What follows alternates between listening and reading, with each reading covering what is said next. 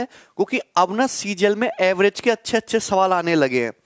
और ये जो बेसिक सीट है छोटे एग्ज़ाम्स में एनटीपीसी में यूपी पुलिस वगैरह में बहुत ज़्यादा काम आएगी। दूसरी सीट है, वो मॉडरेट है, और तीसरी सीट जो है, वो अच्छे लेवल की सीट्स मैंने बनाई है, ठीक है ना? तीन सीट कर दिया है मैंने। ठीक है भाई? चलो। Very good Gaurav Yadav. Start करते हैं एवरेज। तो सबसे पहले आप मुझे बताओ कि भैया एवरेज होता क्या है, औसत होता क्या है? एवरेज होता क्या है, औसत होता क्या है? आप मुझे बताओ। एवरेज क्या होता है, औसत क्या होता है? एवरेज होता क्या है, औसत क्या होता है? सबसे पहले परिभाषा समझो।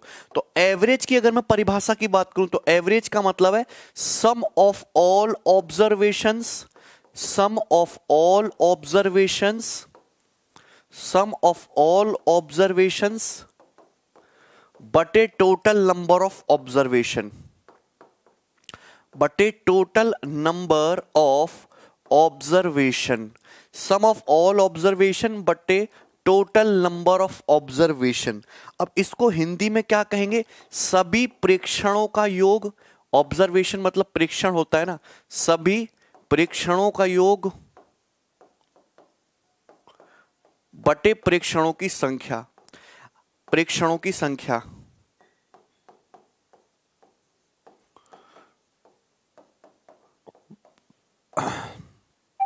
ठीक है। हालाँकि एवरेज में बहुत इंपॉर्टेंट हाँ एवरेज में बहुत इंपॉर्टेंट कंसेप्ट होता है डेविएशन डेविएशन बहुत इंपॉर्टेंट कंसेप्ट होता है.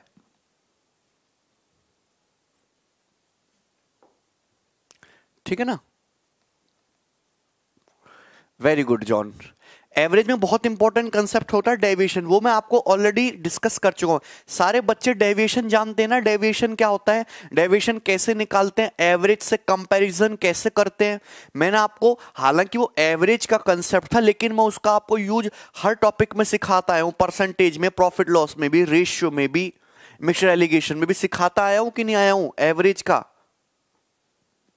इसका डेविएशन का कंसेप्ट डेविएशन का यूज़ करके सभी को पता है ना डेविएशन क्या होता है? कैसे यूज़ करते हैं?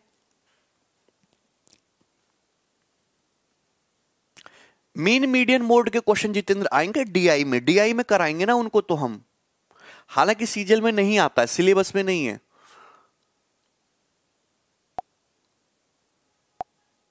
ठीक है भाई? ओके भाई। चलिए, सभी को पता है। तो ये हो गया average sum of all observation but total number of observation अब गौर कीजिएगा ऑब्जर्वेशन क्या है? ऑब्जर्वेशन कुछ भी हो सकता है। जैसे कि आप सपोज़ छह चचेरे भाई बहन छह कजिन ब्रदर है।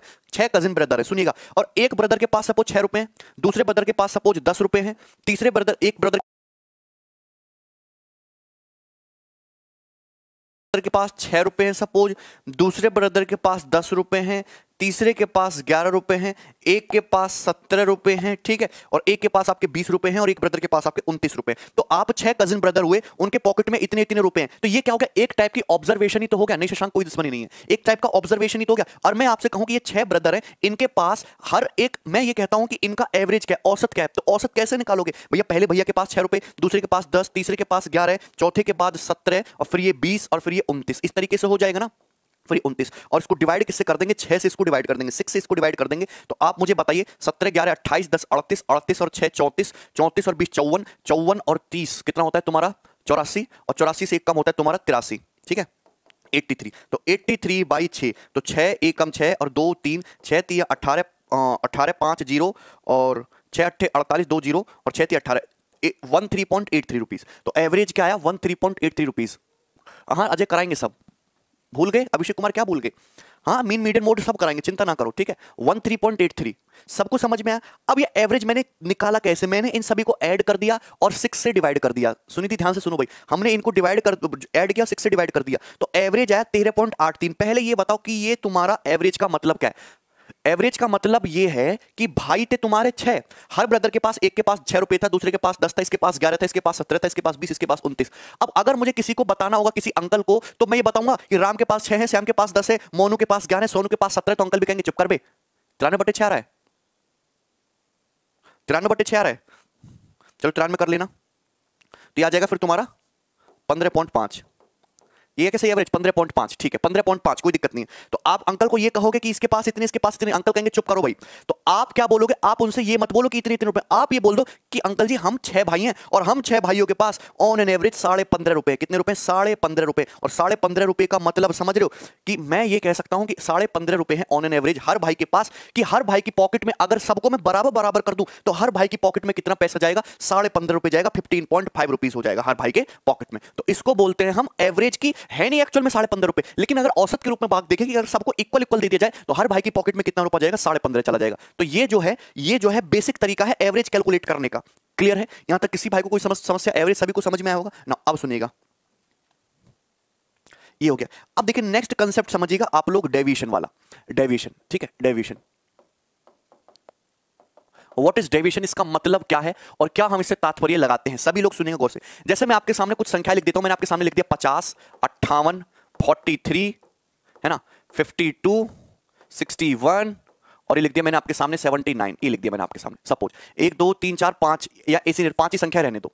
मैंने आपके सामने ये सारी संख्याएँ लिख दी और मैंने आपसे बोला, इनका एवरेज बताइए। तो एवरेज आप कैसे निकालोगे? इनको जोड़ के पाँच से डिवाइड करोगे, ऐसे नहीं करना। मैं आपको एक चीज़ सिखाना चाहता हूँ डेविशन आप बस ये देखिए कि एक, दो, तीन, चार, ये पाँच संख्याएँ, ये किस संख्या के आसपास है? ये किस संख्या के आसपास है? तो आप कहेंगे सारी संख्या पचास के आसपास है। तो मैंने ये मान लिया कि इन संख्याओं का एवरेज पचास है। आप अपनी मर्ज़ी से कोई भी नंबर एज्यूम कर सकते हो। आप सौ भी मानेंगे तो भी सेम ही रहेगा। डेविशन का मतलब समझिए, मैंने ये मान लिया कि ये जो पाँच संख्याएँ दे रखी हैं, इनका जो एवरेज है वो कितना है? फिफ्टी है। क्या मान लिया मैंने एवरेज फिफ्टी मान लिया।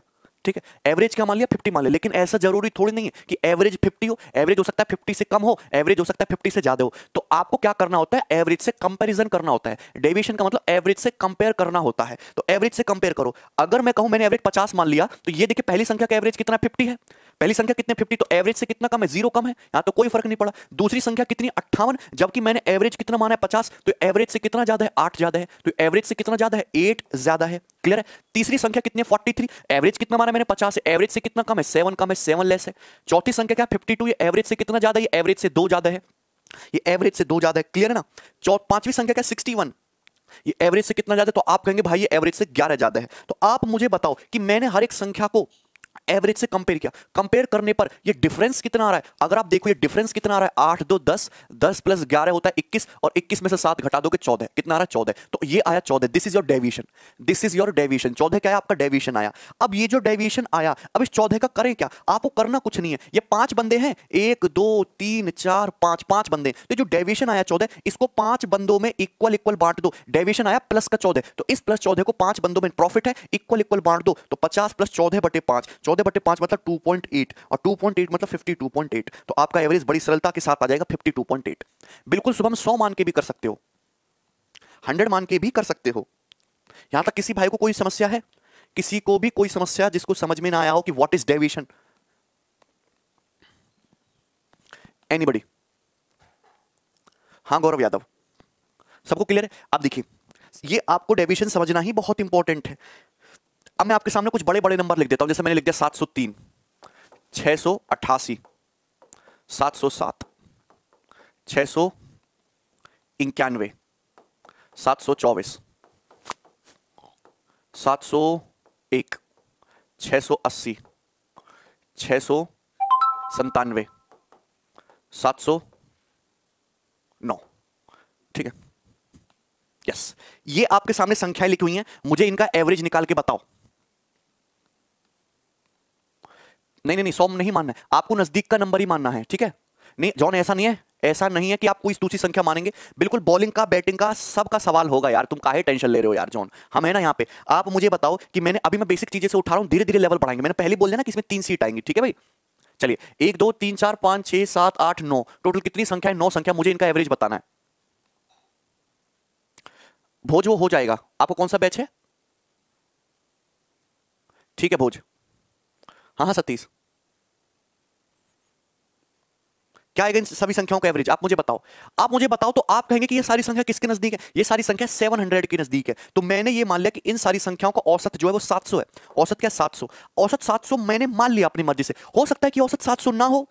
हो सकता है कि औसत 700 ना हो 700 से थोड़ा सा कम हो 700 से क्या हो, थोड़ा सा कम या थोड़ा सा ज़्यादा हो तो आपको क्या करना पड़ेगा? चेक करना पड़ेगा। तो भैया वन बाई वन एक एक संख्या को कंपेयर करो। एवरेज मैंने माना सात संख्या सात सौ तीन एवरेज से कितना ज़्यादा है? तीन ज़्यादा है। ये संख्या छह एवरेज से कितना कम है? बारह कम है। ये संख्या सात एवरेज से कितना ज़्यादा है? सेवन ज़्यादा है सेवन मोर ये संख्या सात, छह सौ इक्यानवे एवरेज से कितना कम है? नौ कम है। ये संख्या सात सौ चौबीस एवरेज से कितना ज़्यादा है? चौबीस ज़्यादा है। ये संख्या सात सौ एक एवरेज से कितना ज़्यादा है? एक ज़्यादा है। ये संख्या छह सौ अस्सी एवरेज से कितना कम है? बीस कम है। ये संख्या नाइनटी सेवन एवरेज से कितना लेस है? थ्री लेस है। ये संख्या सात सौ नौ एवरेज से कितना ज़्यादा है? नाइन ज़्यादा है। तो आपको हर एक संख्या को एवरेज से क्या करना है? कंपेयर करना है। जब आप कंपेयर करोगे, देखिए माइनस का नाइन प्लस का नाइन ये तो डेविएशन खत्म हो गया, ठीक है ना? उसके बाद देखिए, ये प्लस का तीन और ये माइनस का तीन, ये खत्म हो गया, ठीक है? ना आप सुनेगा ये बीस बारह, बत्तीस होता है, चौबीस एक पच्चीस पच्चीस सात, बत्तीस होता है। चौबीस एक पच्चीस पच्चीस सात, बत्तीस और बीस और बारह, बत्तीस। तो नेट डेविएशन कितना आया? ज़ीरो नेट डेविएशन ज़ीरो आया। इसको नौ यूनिट्स में इक्वल इक्वल बांटोगे तो यानी कि सात सौ ही आपका एवरेज आ जाएगा। बताओ। तो एवरेज पे कोई फ़र्क पड़ा क्या? सात सौ ही आ गया। सत्यम, गलत कर दिया आपने, कहीं कैलकुलेशन में गलती मत कीजिए। सबको समझ में आ गया? सबको समझ में आ गया, बोलो कोई डाउट है। सबको समझ में आ गया? यहाँ तक कोई समस्या? कोई डाउट तो एवरेज सात सौ गया। अगर मैं यहाँ पे सपोज़ एक संख्या और ऐड कर दूँ सपोज़ मैं यहाँ पे 718 कर देता हूँ, अब क्या आ जाएगा तुम्हारा डेविएशन अब क्या आ जाएगा? तो आप जानते हैं एवरेज से कंपेयर करोगे तो एवरेज से कितना ज़्यादा है? 18 ज़्यादा है 18 ज़्यादा है। तो ये सब तो कट कुट आ गया। नेट डेविएशन इस केस में कितना आएगा? नेट डेविएशन आएगा पॉजिटिव 18 संख्या कितनी है? तो यहाँ तक डेविएशन में किसी को कोई डाउट आया हो। डेविएशन में किसी को कोई डाउट आया हो, बताइए। आगे ना समझ? आपको कुछ नहीं करना एवरेज से कंपेयर करना। अगर एवरेज से लेस है तो माइनस एवरेज से ज़्यादा है प्लस नेट डेविएशन देख लीजिए, कितना आया है। ठीक है? कोई डाउट चलिए तो ये तो डेविएशन वाली बहुत सिंपल सी बात है, आप समझ गए होंगे। चलिए, अब मैं आपको बेसिक बेसिक सी छोटी छोटी चीज़ें बताता हूँ, जो छोटे एग्ज़ाम्स के लिए बहुत इंपॉर्टेंट है, ध्यान से सुनिएगा। आपको पता है सम ऑफ़ ये फॉर्मूला आपको पता होना चाहिए sum of first n natural number sum of first n natural number सभी को पता है sum of first and natural number sum of first and natural number यानी कि प्रथम एन प्राकृतिक संख्याओं का योग. प्रथम एन प्राकृतिक संख्याओं का योग. सभी लोग बहुत ध्यान से सुनेगा sum of first and natural number प्रथम एन प्राकृतिक संख्याओं का योग. प्रथम एन प्राकृतिक संख्याओं का योग. इसका मतलब क्या होता है? देखिए नेचुरल नंबर कहाँ से शुरू होते हैं? एक से। तो ये कहना चाह रहा है one plus two plus three plus four plus dot dot dot dot n ये फ़र्स्ट एन नेचुरल नंबर हो गए, और इसका मतलब होता है sigma n that is nothing but sigma n sigma n is sum of first n natural number और sigma N की जो वैल्यू होती है n into n plus one by two ये आपको पता होना चाहिए n into n plus one by two कोई दिक्कत? यहाँ तक किसी को कोई समस्या है n into n plus one by two लेकिन अगर आपसे कहीं यहाँ सम की बजाय, अगर आपसे एवरेज पूछ लिया जाता, कि प्रथम एन प्राकृतिक संख्याओं का एवरेज बताइए तो एवरेज कैसे निकालोगे? हम बात कर रहे हैं फ़र्स्ट एन नेचुरल नंबर की तो फ़र्स्ट एन नेचुरल नंबर की बात करें उनका सम तो ये है तो अगर हम इसको total number of observation n से डिवाइड कर देंगे तो एवरेज कितना जाएगा? N plus one by two आपका एवरेज आ जाएगा। एवरेज कितना जाएगा? N plus one by two ये बात सही है? अभिषेक कुमार संपत लव डेविशन मेथड बहुत धांसू कराएँगे आकाश टेंशन ना लो अभी बहुत बेसिक से उठा रहे अभी मज़ा आएगा आपको यहाँ तक क्लियर है सभी को सिंपल सी बात पता है चलो अब ये तो बात होगी इस, इसकी sum of first natural number की लेकिन अगर इस तरीके से हो sum of sum of square of first and natural number sum of square of first and natural numbers इस, इसका फॉर्मूला क्या होता है? हिंदी में अगर मैं बोलूँ मैं हिंदी में भी लिख दे रहा हूँ प्रथम एन प्राकृतिक संख्याओं के वर्गों का योग। प्रथम एन प्राकृतिक संख्याओं के वर्गों का योग। प्रथम एन प्राकृतिक संख्याओं के वर्गों का योग। प्रथम एन प्राकृतिक संख्याओं के वर्गों का योग। इसका मतलब क्या है?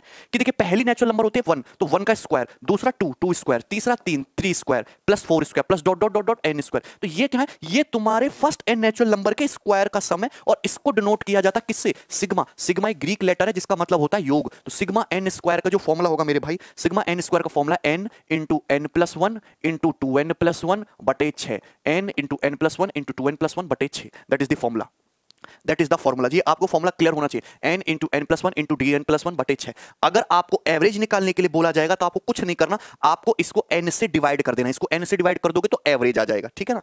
एक थर्ड और लास्ट चीज़ आपको पता होना चाहिए। Sum of sum of cubes of sum of cubes of first n natural number sum of cubes of first n natural number sum of cubes of first n natural number प्रथम N प्राकृतिक संख्याओं के घनों का योग। हिंदी में लिखेगा प्रथम एन प्राकृतिक संख्याओं के घनों का योग। मतलब one cube plus two cube plus three cube plus four cube plus dot dot dot कहाँ तक जाओगे? एन क्यूब तक। ये फ़र्स्ट एन नेचुरल नंबर के क्यूब्स का सम है। और इसको डिनोट करते हैं किससे सिग्मा एन क्यूब से। अच्छा मैंने आपको जो पहला फॉर्मुला लिखवाया था ना सिग्मा एन का जो फॉर्मुला लिखवा था n into n plus one by two यही है ना फॉर्मुला इसका जस्ट कुछ नहीं करना। इसका जस्ट आपको स्क्वायर कर देना होल स्क्वायर तो ये फॉर्मुला है। N into n plus one by two का होल स्क्वायर सबको समझ में आ गया ना? ये पहले से पता होगा बहुत सारे भाइयों को। बोलो।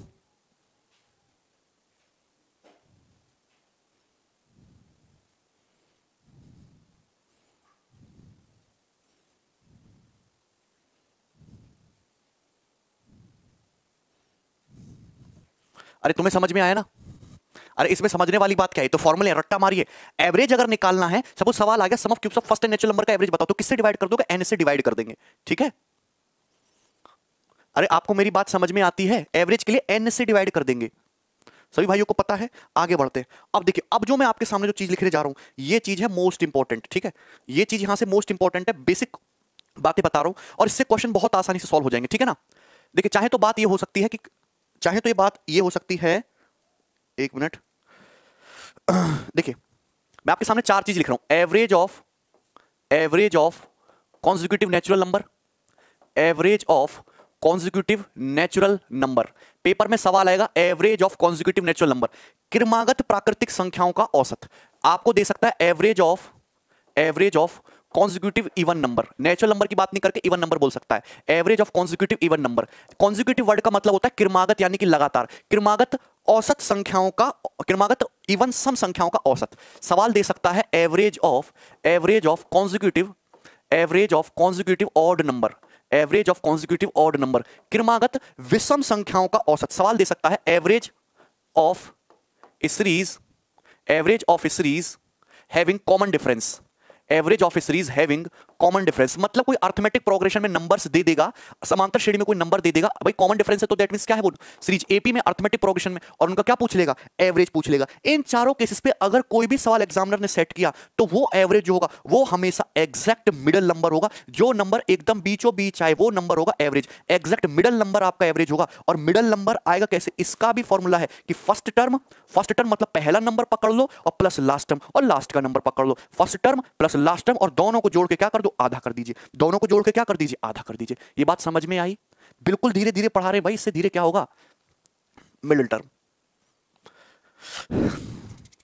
अगर देखिए हिंदी में बोल दे रहा हूँ, अगर एग्जामिनर में आपको average of consecutive natural number में एक एक केस को डिस्कस करूँगा, क्रमागत प्राकृतिक संख्याओं का औसत पूछा, क्रमागत विषम संख्याओं का औसत पूछा, क्रमागत सम संख्याओं का औसत पूछा, या आपको कोई ऐसी सीरीज़ दे दी जिसके दो टर्म के बीच का जो डिफरेंस है, वो हमेशा सेम है। कॉमन डिफरेंस वाली सीरीज़ है मतलब एक एपी है, एक अर्थमेटिक प्रोग्रेशन है। तो इस केस में हमेशा जो आपका एवरेज आएगा, वो एकदम जो मिडिल में नंबर जो लाई करेगा ना एक्जैक्ट मिडिल वाला जो नंबर है, वो होगा। और इसका फॉर्मुला होता है एक्जैक्ट मिडिल नंबर आपको निकालना है first number plus last number बटे दो। मेरी बात समझ में आई आप लोगों को? अब देखिए, नहीं समझ में आया तो मैं आपको एक एक एग्ज़ाम्पल से लेकर समझाऊँगा। सबसे पहले बेसिक वाला समझिए। मैंने आपसे क्या बोला? अगर एग्जामिनर में आपको कोई भी कॉन्सिक्यूटिव नेचुरल नंबर दे दिए क्रमागत प्राकृतिक संख्या दे दी, जैसे एग्जामिनर ने आपको दे दिया fifty nine sixty sixty one 62, 63, 64, 65 ये दे दिया। और एग्जामिनर ने पूछा, इनका एवरेज बताओ। तो आप सबसे पहले देखो, ये है क्या? ये तो कॉन्जिक्यूटिव नेचुरल नंबर है। क्रमागत प्राकृतिक संख्या है उनसठ, साठ, इकसठ, बासठ, तिरसठ, चौसठ, पैंसठ, ये तो क्रमागत प्राकृतिक संख्या है। और आपसे इनका एवरेज पूछा तो आप देखो, अगर आप इस नंबर बासठ को देखोगे,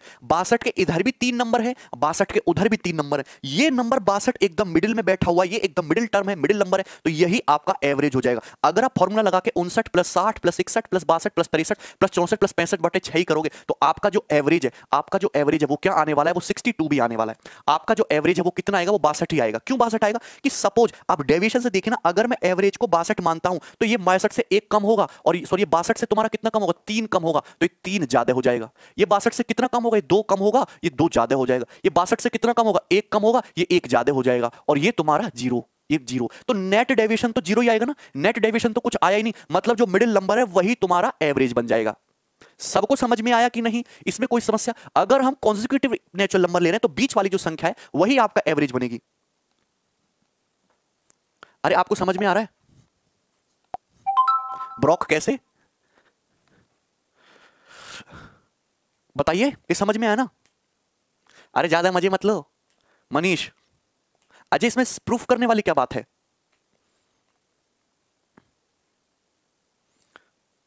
अरे सभी को समझ में आया ना? एवरेज क्या होगा एग्जैक्ट मिडिल नंबर अगर आप सुनिएगा, मैंने आपको ये भी बताया कि फ़र्स्ट नंबर क्या है? उनसठ। और इधर से लास्ट नंबर क्या है? पैंसठ। अगर आप उनसठ और पैंसठ का एवरेज लोगे, उनसठ प्लस पैंसठ बटे दो, सुनना मेरी बात तो भी क्या आएगा? बासठ ही आएगा।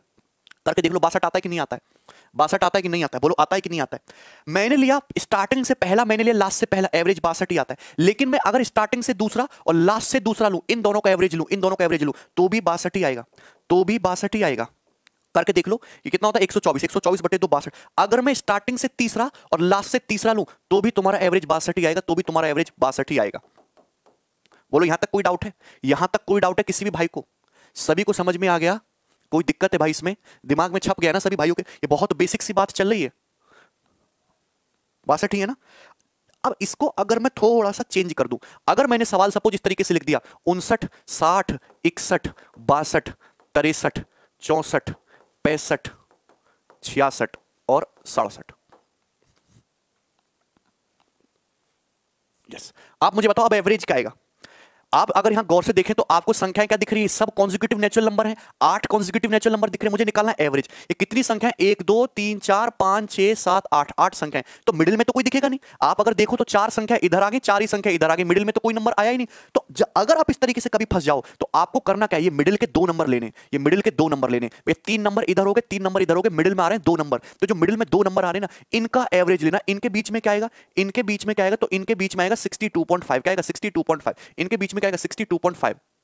इनके बीच में क्या आएगा? 62 और 63 के बीच में क्या आएगा? 62 और 63 के बीच में। 62.5 और ये एवरेज होगा। बोलो, बात क्लियर हुई ना? एवरेज क्या होगा? ये होगा 62.5 बोलो, यहाँ तक किसी भाई को कोई समस्या? 62.5 नितेश टोटल इवन नंबर है तो वो भी समझा देंगे। आप ये देख लीजिए पहले कि आपको ये पल्ले पड़ता है।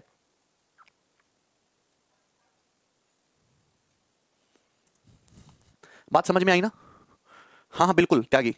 सबको समझ में आया ना? अगर आप देखोगे, अगर आप देखोगे उनसठ और छियासठ का अगर आप एवरेज निकालोगे 59 प्लस सिक्सटी का आप एवरेज निकालोगे तो भी यही आएगा। अगर आप 60 और पैंसठ का एवरेज निकालोगे तो भी यही आएगा। इकसठ और तिरसठ का एवरेज निकालोगे तो भी आएगा। आपको चाहिए एग्जैक्ट मिडिल नंबर तो एग्जैक्ट मिडिल में ना 62 है, ना 63 है। इनके बीच का है 62.5 नेमी, तुम्हें समझ में आ रहा है कुछ भी? अच्छा ये बात होगी यहाँ तक। नेचुरल नंबर का स्कोप सबको समझ में आ गया ना? What is natural number natural number का स्कोप आ गया ना समझ में?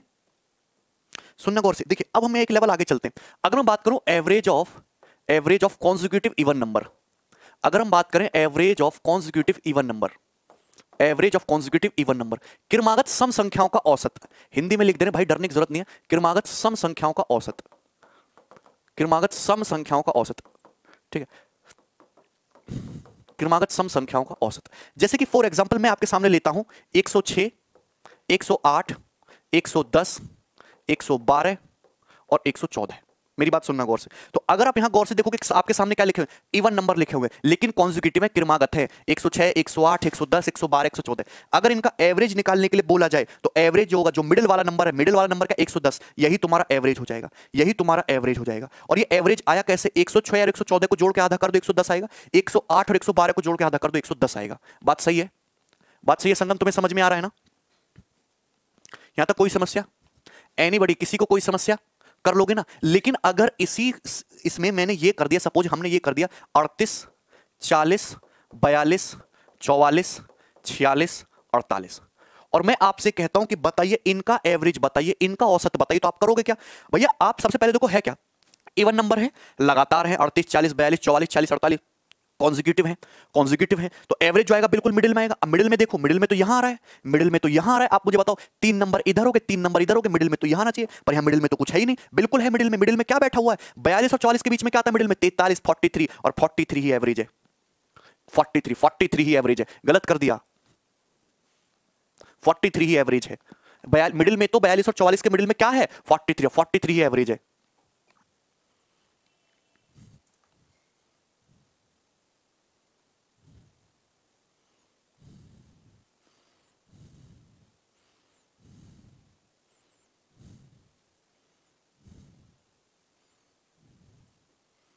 फोर्टी थ्री ही। एवरेज बोलो, समझ में और एवरेज आएगा कैसे? अड़तीस और अड़तालीस को जोड़ का आधा कर दो फोर्टी थ्री चालीस, छियालीस को फोर्टी थ्री बयालीस, चौवालीस का एवरेज फोर्टी थ्री आएगा कि नहीं आएगा? रूट में क्यों रहेगा राज? चलिए, अब देखते हैं। यहाँ तक कॉन्सिक्यूटिव इवन नंबर का भी समझ में आ गया? आगे बढ़ते हैं। देखिए average of average of first average of first and even numbers average of first n even numbers सभी लोग हेडिंग डाल लेंगे और बहुत इंपॉर्टेंट सवाल बनाता है एग्ज़ाम पेपर में. Average of first n even number प्रथम एन प्राकृतिक सम संख्याओं का औसत. आप मुझे बताओ first n even numbers first n even numbers का मतलब समझ लो. प्रथम एन सम संख्याओं का औसत. पहली सम संख्या कौन सी होती है? दो. Average of first n even natural number की बात कर रहे हैं. हम जो भी बात कर रहे हैं नेचुरल नंबर की बात कर रहे हैं. पहली, पहला इवन नंबर क्या होता है? तुम्हारा दो. दो से शुरू करेंगे भाई. टू टू के बाद क्या आता है? तुम्हारा चार. दो के बाद क्या आता है? चार. चार के बाद क्या आता है? छह छह छह के बाद आठ आठ के बाद दस दस के बाद बारह। तो ये तुम्हारे क्या है? नेचुरल नंबर्स हैं even first n even number से अब सुनना, मैं इनके सम की बात करता हूँ। आप मुझे बताइए, दो दो का मतलब क्या होता है? दो। अगर मैं फ़र्स्ट दो इवन नंबर का सम करूँगा, यानी कि दो प्लस चार तो दो प्लस चार करने पे क्या आएगा? छह आएगा। अगर मैं फ़र्स्ट तीन इवन नंबर का सम करूँगा तो दो प्लस चार प्लस छह तो चार, दो, छह और छह कितना आएगा? बारह आएगा। अगर मैं फ़र्स्ट चार इवन नंबर का सम करूँगा तो कितना आएगा? दो प्लस चार प्लस छह प्लस आठ। चार, दो, छह छह, बारह, आठ, बीस। कितना आएगा? बीस। कितना आएगा? ट्वेंटी आएगा। अगर मैं पहले पाँच इवन नंबर का सम करूँगा तो पहले पाँच इवन नंबर कौन से? दो, चार छ आठ। दो प्लस चार प्लस छह प्लस आठ प्लस दस। तो ये कितना आ जाएगा? ये आ जाएगा तुम्हारा तीस। ये आ जाएगा तीस। अगर आप गौर से देखो तो दो का मतलब क्या है? दो का मतलब है वन स्क्वायर प्लस वन छह का मतलब क्या है? छह का मतलब है दो स्क्वायर प्लस दो। चार प्लस दो, छह। बारह का मतलब क्या है? नौ प्लस तीन, बारह। तीन स्क्वायर प्लस तीन। बीस का मतलब क्या है? चार स्क्वायर सोलह। सोलह प्लस चार, बीस। तीस का मतलब क्या है? पाँच का स्क्वायर पच्चीस। पच्चीस प्लस पाँच, तीस। तो आपने एक नोटिस करी, बात नोटिस करी। फ़र्स्ट इवन नेचुरल नंबर का सम ये रहा first two even number first two even number का सम ये रहा फ़र्स्ट थ्री इवन नंबर का सम ये रहा फ़र्स्ट फोर इवन नंबर का सम ये रहा पहले पाँच सम संख्याओं का योग ये रहा तो अगर मैं आपसे फॉर्मूला पूछूँ कि बताओ फॉर्मूला क्या होगा, किसके फॉर्मूले की बात कर? फॉर्मूले की बात कर sum of first sum of first n even number sum of first n even number यानी कि क्या है? प्रथम एन प्राकृतिक, प्रथम एन प्रथम एन प्राकृतिक प्रथम एन प्राकृतिक सम संख्याओं का योग। अगर मैं बात करूँ कि पहली एन इवन नेचुरल नंबर है, उनका योग आप बताइएगा, क्या होगा? First n even natural number का सम का फॉर्मूला क्या होगा? तो आप मुझे फॉर्मूला क्या बताएँगे? N square plus n n square plus n. और अगर मैं यहाँ से एन कॉमन ले लूँ तो ब्रैकेट में क्या आता है? N plus one. ब्रैकेट में क्या आता है? N plus one. रट्टा मार लीजिए, लिख लीजिए, एन प्लस वन। बहुलक तो बहुत आसान है Amit n square plus n n into n plus one. Sum of first n even number का फॉर्मूला है n into n plus one Raj, मैं आपको फॉर्मूला बता रहा हूँ। क्लियर है? सभी को समझ में आएगा लेकिन अगर आपसे एवरेज पूछा, आपसे क्या पूछा? Average average of first n even number average of first n even number प्रथम एन प्राकृतिक सम संख्याओं का एवरेज पूछा। तो आप मुझे बताए सम क्या है? फ़र्स्ट एन इवन नंबर का सम क्या है? सम है ये। प्रथम एन सम संख्याओं का योग क्या है? ये है। और संख्या है कितनी? एन एन से डिवाइड कर दो। तो एन से एन कट जाएगा। एवरेज क्या आएगा? एवरेज आएगा n plus one average of first n even number is nothing but n plus 1 average of first n even number is nothing but n plus 1 करिएगा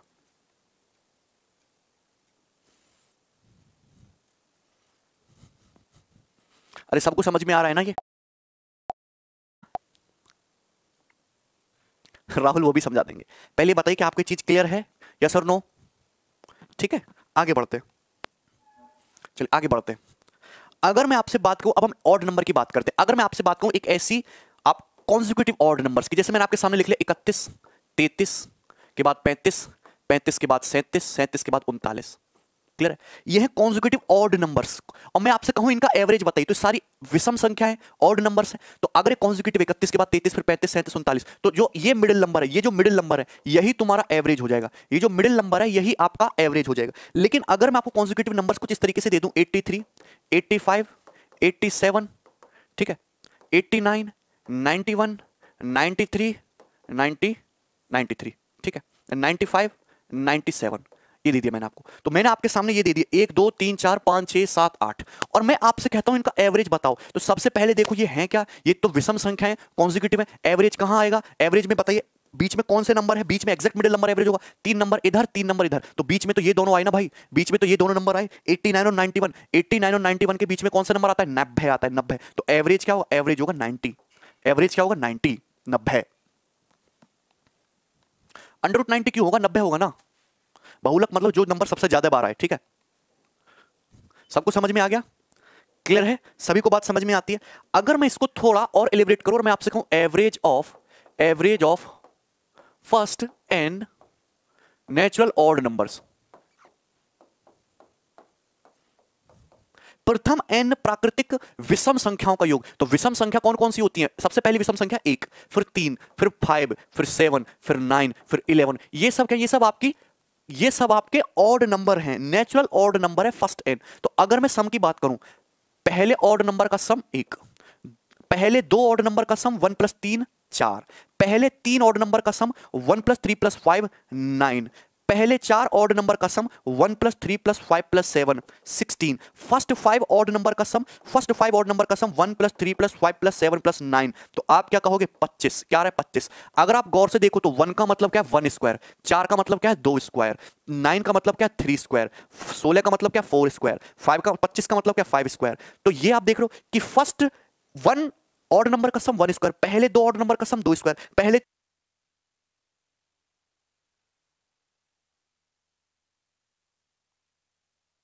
sound आ रही है?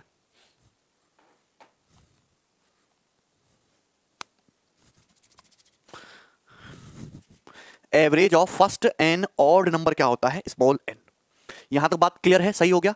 Prime number का average संपत्ति तो तुमको वन बाई वन मैनुअली निकालना पड़ता है। प्राइम नंबर जो बड़े खतरनाक होते हैं। प्राइम नंबर पे एवरेज का सवाल आ गया तो आपको one one one by one step by step करना होगा। एक एक नंबर चुन चुन के। ठीक है अभीश ओके है। क्या ये बात यहाँ तक आपको समझ में आई? Sum of first n odd number n square average of first n odd number is n clear हो गया ना? सभी को बात समझ में आ रही है यहाँ तक? आपको पल्ले पड़ा।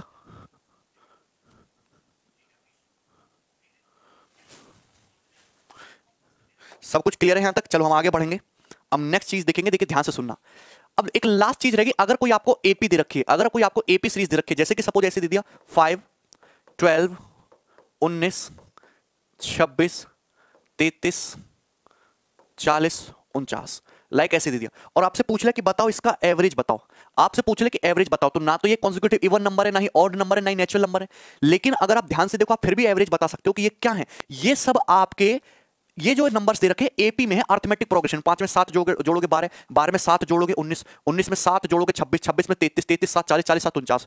तो इस केस में भी जो आपका एवरेज है ना, वो मिडिल नंबर आएगा तो एवरेज है ना, ये होगा तुम्हारा छब्बीस ही तुम्हारा एवरेज होगा। एवरेज क्या होगा? तुम्हारा छब्बीस होगा एक्जैक्ट मिडिल नंबर ही होगा एवरेज क्लियर है? लेकिन अगर यहाँ पे एक नंबर और डाल दिया, उनचास के बाद सपोज़ यहाँ पे डाल दिया उन्होंने फिफ्टी सिक्स चालीस के बाद सॉरी सैंतालीस आएगा ना, सैंतालीस। और सैंतालीस के बाद उन्होंने एक और नंबर डाल दिया सपोज़ ये तुम्हारा फिफ्टी फोर सपोज़ एक नंबर और डाल दिया यहाँ पे ध्यान से सुनना। तो आप मुझे बताए, अब एवरेज क्या होगा? तो ये तो तुम्हारे आठ नंबर हो गए। तो तीन नंबर इधर से, तीन नंबर इधर से। मिडिल में तो दो नंबर आ गए ना। मिडिल में तो दो नंबर आ गए ना। और अगर मिडिल में दो नंबर आ गए, उस केस में जो एवरेज होगा ना, इन दोनों के मिडिल का नंबर होगा। इन दोनों के मिडिल का नंबर क्या होगा? छब्बीस, तैतीस, छह, तीन, नौ और तीन और दो, पाँच। उनसठ है ना twenty nine point five twenty nine point five twenty nine point five उस केस में आपका एवरेज हो जाएगा। ठीक है? बोलो, यहाँ तक सभी को बात क्लियर हुई कि नहीं हुई? मैंने आपको ये थ्योरी बताया एवरेज का बेसिक आपको डेविएशन ये वगैरह मैंने आपको सब कुछ सिखाया कि आपको ये सारी थ्योरी क्लियर है? यस और नो अगर क्लियर है तो बोलो, हम आगे बढ़ते हैं। और सब लोग हेडिंग डाल लेंगे कॉपी में weighted average weighted average weighted average weighted average सुनिएगा।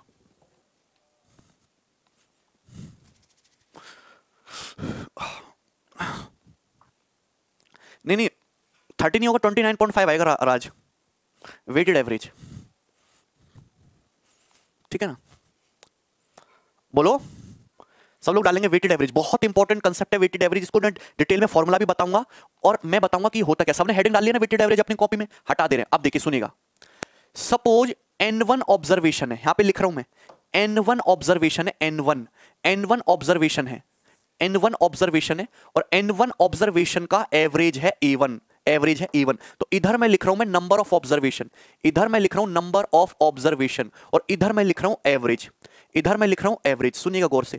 एन वन ऑब्जर्वेशन है, उनका औसत है ए वन नेक्स्ट अगली एन टू ऑब्जर्वेशन है एन टू ऑब्जर्वेशन का एवरेज है ए टू क्या है a two n three observation है n three number of observation है, उनका एवरेज है a three n four observation है, उनका एवरेज है ए फोर क्या है ए फोर और इसी तरीके से आगे चलता रहेगा। अगर आपसे ये पूछ लिया कि average of average of all observation अगर आपसे पूछ लिया, अगर आपसे सारी ऑब्जर्वेशन का एवरेज पूछ लिया तो फंडा सिंपल सा है। एन वन ऑब्जर्वेशन का जो एवरेज है वो है ए वन तो n one into a one plus n two observation का है एवरेज है ए टू तो सम कितना हो जाएगा? एन टू ऑब्जर्वेशन का sum n two a two अगर एन थ्री ऑब्जर्वेशन का एवरेज ए थ्री है तो सम कितना हो जाएगा? एन थ्री ऑब्जर्वेशन का n three a three plus अगर एन फोर ऑब्जर्वेशन का सम ए फोर है तो एन फोर ऑब्जर्वेशन का सम क्या होगा? एन फोर ए फोर और डॉट डॉट डॉट और बटे बटे में ऊपर क्या लिख दिया मैंने? ऊपर तो आ गया सम ऑफ़ ऑल ऑब्जर्वेशन और नीचे नंबर ऑफ़ ऑब्जर्वेशन तो नंबर ऑफ़ ऑब्जर्वेशन कितना है? N one plus n two plus n three plus n four plus dot dot dot ये चलेगा. That is the formula observation mean मैं अभी समझाऊँगा कि होता क्या है. अभी मैं समझाऊँगा कि होता क्या है कहाँ से ये आया। पहले बताओ, यहाँ तक बात सही है? क्या इसको पहले कॉपी में छाप लीजिए। N one a one plus n two a two plus n three a three plus n four a four बटे n one plus n two plus n three plus n four ठीक है ना?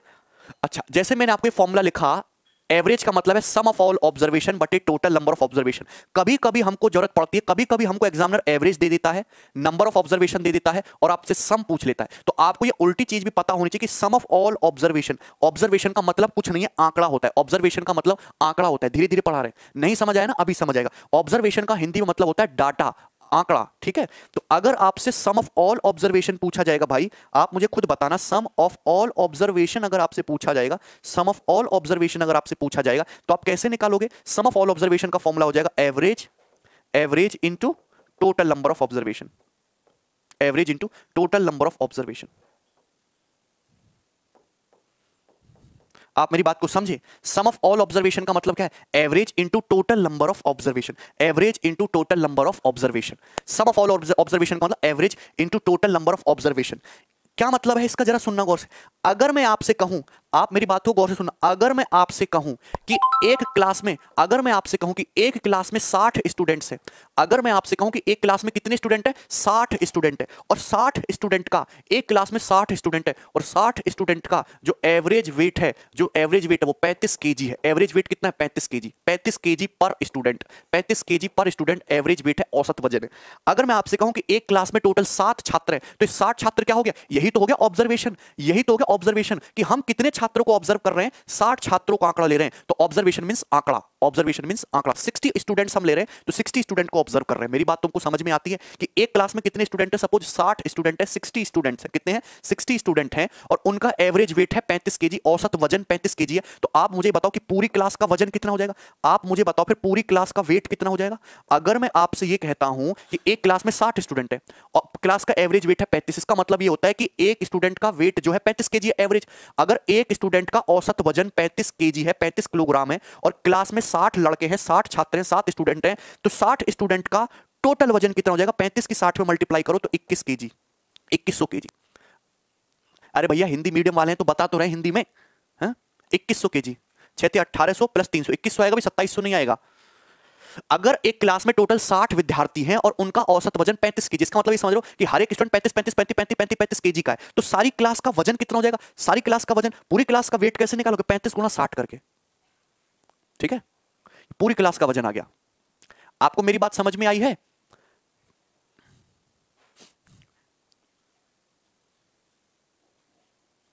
ठीक है ना? अच्छा ये बात तो ठीक है। मैं बात कर रहा था इसकी।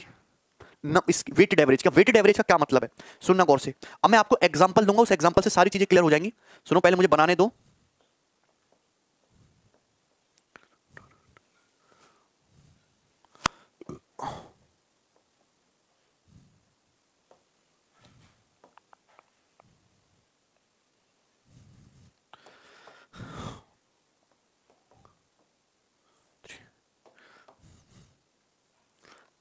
देखिए एक क्लास है, सुनिएगा गौर से नंबर ऑफ़ स्टूडेंट्स एक क्लास में तीन सेक्शन है. एक क्लास में तीन सेक्शन है, सुनिएगा, एक क्लास में तीन सेक्शन है. सेक्शन ए सेक्शन बी एक क्लास है, उसमें तीन सेक्शन बना दी सेक्शन ए सेक्शन बी और सेक्शन सी सुनना. सेक्शन ए में सपोज़ सेक्शन ए में सपोज़ पैंसठ स्टूडेंट है. कितने स्टूडेंट है? पैंसठ. सेक्शन बी में सेवेंटी एट स्टूडेंट है.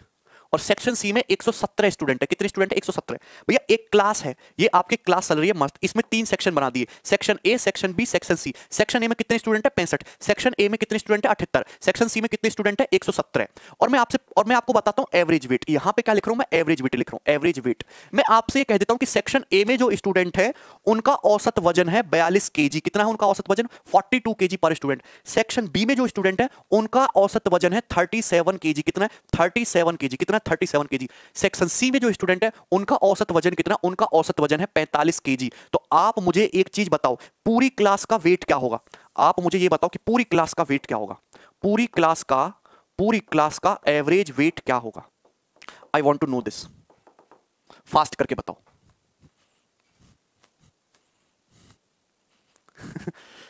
हिंदी मीडियम का इंग्लिश का पेपर तो इंग्लिश में आएगा, उसे भी हिंदी मांगेंगे, हद है सीजल की तैयारी चल रही है और हिंदी में सब पढ़ेंगे। नहीं, हिंदी में भी बताते हैं, पर जितनी हिंदी बताते हैं, बस उतनी ही हिंदी जानने लायक है, उससे ज़्यादा तो फिर आप अपने आपको जॉब से दूर ले जा रहे हो। जितनी हिंदी में बोलता हूँ, उतनी हिंदी काफ़ी है, उससे ज़्यादा हिंदी सीख रहे हो तो फिर आपका इंग्लिश का पेपर क्लियर नहीं हो पाएगा सीजल का किसी भी एग्ज़ाम का। मैंने आपको एक सवाल दे दिया कि एक क्लास है। क्लास समझे ना? क्लास के तीन सेक्शन बना दिए। Section A section B section C section A में कितने स्टूडेंट है? पैंसठ विद्यार्थी हैं। सेक्शन बी में कितने स्टूडेंट है? अठहत्तर स्टूडेंट हैं। सेक्शन सी में कितने स्टूडेंट है? 117 स्टूडेंट है। अब सेक्शन ए के स्टूडेंट जो है, वो खड़े कर दिए तराजू पे। धर्म कांटा देखा होगा आपने रोड पे। और उनका एवरेज वेट निकला बयालीस के और सेक्शन बी के स्टूडेंट का एवरेज वेट निकला सैंतीस के और सेक्शन सी के स्टूडेंट का एवरेज वेट निकला पैंतालीस के तो आप मुझे बताओ, पूरी क्लास का एवरेज वेट कितना होगा? पूरी क्लास का एवरेज वेट कितना होगा? बताइए। तो आप मुझे खुद बताओ, आप मुझे खुद बताओ कि अगर सेक्शन में पैंसठ विद्यार्थी हैं और हर विद्यार्थी का वज़न बयालीस के अगर एक स्टूडेंट का वज़न बयालीस के है, कितना है बयालीस के तो पैंसठ स्टूडेंट का टोटल वज़न कितना होगा? इंटू पैंसठ। इंटू पैंसठ तो आप मुझे बताइए सेक्शन ए के सारे स्टूडेंट्स का कुल वज़न आ गया? ये सेक्शन ए के सारे स्टूडेंट का कुल वज़न आ गया कि नहीं आ गया? ये सेक्शन ए के सारे स्टूडेंट्स का कुल वेट आ गया बयालीस के जी इंटू पैंसठ। प्लस अगर अब दूसरे सेक्शन के पास चलो।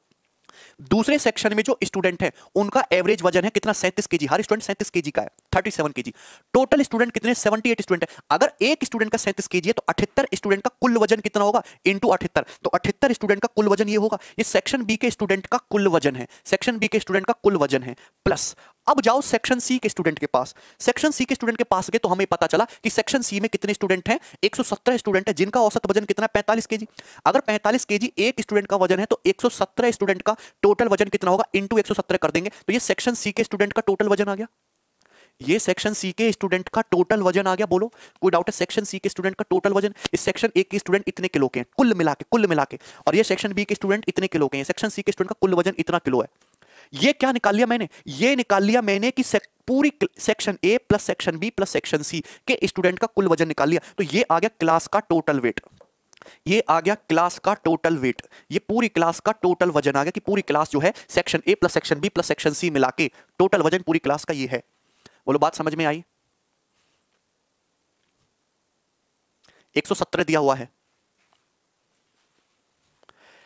पूरी क्लास का टोटल वज़न ये है, इसको किससे डिवाइड कर दोगे? आप मुझे बताओ, आपसे पूछा, पूरी क्लास का एवरेज वेट अब क्लास में स्टूडेंट कितने क्लास में स्टूडेंट कितने तो पहली सेक्शन ए में पैंसठ स्टूडेंट सेक्शन बी में अठहत्तर स्टूडेंट सेक्शन सी में एक स्टूडेंट तो पूरी क्लास में टोटल कितने स्टूडेंट हैं? तो आप मुझे खुद बताइएगा कि पूरी क्लास में टोटल स्टूडेंट है पैंसठ प्लस अठहत्तर प्लस एक तो पूरी क्लास में इतने स्टूडेंट है। तो पूरी, मैंने ऊपर क्या लिखा? पूरी क्लास का टोटल वेट नीचे क्या लिखा? पूरी क्लास में नंबर ऑफ़ स्टूडेंट कितने तो यही तो है। What is this this is average weight का फंदा। अरे भैया, यही तो मैंने फॉर्मल लिखा था। ये क्या है? तुम्हारा ऑब्जर्वेशन है। ये पहले सेक्शन में कितने स्टूडेंट है? पैंसठ। एन वन स्टूडेंट दूसरे में अठहत्तर। एन टू स्टूडेंट तीसरे में एन थ्री एक सौ सत्तर स्टूडेंट एन वन स्टूडेंट का average weight a one n two student का average weight a two n three student का एवरेज वेट ए थ्री तो वेटेड एवरेज कैसे आया था? एन वन गुणा ए वन एन टू गुणा a two plus n three गुणा ए थ्री बटे n one plus n two plus n three आ जाएगा ना?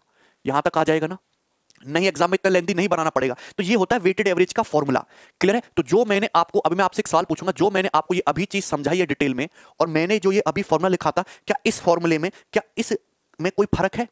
कुछ भी फ़र्क है? सभी को समझ में आया कि नहीं? आप बताइए n one n two n three n four a one a two a three a four सुनना गौर से तो एन वन एन वन संख्या एन वन ऑब्जर्वेशन का एवरेज ए वन है तो n one a one total n two a two total n three a three total n four a four total बटे number of observation n one plus n two plus n three plus n four ठीक है? समझ में आया? कोई दिक्कत? कोई दिक्कत वेटेड एवरेज के कंसेप्ट में? पहले ये बताइए। पहले आप ये बताइए कि यहाँ कोई दिक्कत है आप लोगों को? कैलकुलेटर से जरा एक बार चेक कर लो, इसका आंसर क्या आता है। कैलकुलेटर से एक बार चेक कर लो, इसका आंसर क्या आता है। इसका आंसर क्या आता है? तो सभी बच्चे मुझे इसका आंसर बता रहे हैं। 41.85 केजी पूरी क्लास का सब लोगों ने एवरेज वेट बता दिया। 41.85 यही है क्या भाई? 41.85 बता रहे हैं, ठीक है ना? अगर पेपर में सवाल आया तो आपको इस तरीके से नहीं करना, ये तो बहुत बेसिक मेथड है ओल्ड मेथड इसको हटा दिया ऐसे नहीं करना है आपको। हटा दीजिए। ऐसे नहीं करना इसको हटाइए, बिल्कुल भूल जाइए। ऐसा तरीका शायद मैंने आपको पहले भी बताया था कि पेपर में करना कैसे, लेकिन आप लोग भूल गए, जरा गौर से सुनेगा अब इसकी ट्रिक समझते हैं डेविएशन का कंसेप्ट समझते हैं। मैं क्या बता रहा हूँ, मैं क्या बता रहा हूँ, कोई कॉमन वॉमन नहीं लेना। यहाँ पे यूज़ करूँगा मैं क्या डेविएशन कंसेप्ट यहाँ पे यूज़ करूँगा मैं डेविएशन कंसेप्ट डेविएशन कंसेप्ट सुनिएगा आपसे क्या पूछा है? आपसे पूछा है पूरी क्लास का एवरेज वेट वेट को मत छेड़िए। जो नंबर ऑफ़ स्टूडेंट है नंबर ऑफ़ ऑब्जर्वेशन है, उनका रेशियो ले लीजिए। नंबर ऑफ़ ऑब्जर्वेशन का रेशियो ले लीजिए। नंबर ऑफ़ ऑब्जर्वेशन का रेशियो ले लीजिए। इनका ले लीजिए रेशियो तेरह से कटेगा। तेरह पंजे पैंसठ, तेरह चिंग अठहत्तर और तेरह निम्मा एक सौ सत्रह। रेशियो ले लीजिए। Five is to six is to nine ratio ले लीजिए नंबर ऑफ़ ऑब्जर्वेशन का। पाँच छ और नौ। ले लिया मैंने रेशियो बोलो कोई डाउट है? Five is to six is to nine five is to six is to nine ratio ले लिया। क्या ले लिया मैंने? यहाँ से रेशियो ले लिया। Five is to six is to nine बोलो कोई डाउट है?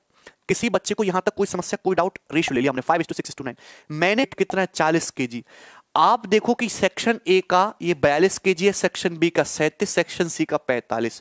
तो बयालीस, सैंतीस और पैंतालीस के नज़दीक जो नंबर घूमता है वो कितना? चालीस के जी।